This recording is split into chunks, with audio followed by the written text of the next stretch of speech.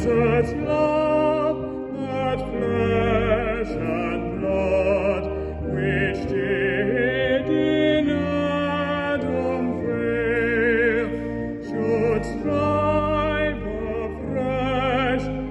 against the foe, should strive and should prevail. O generous love, Christus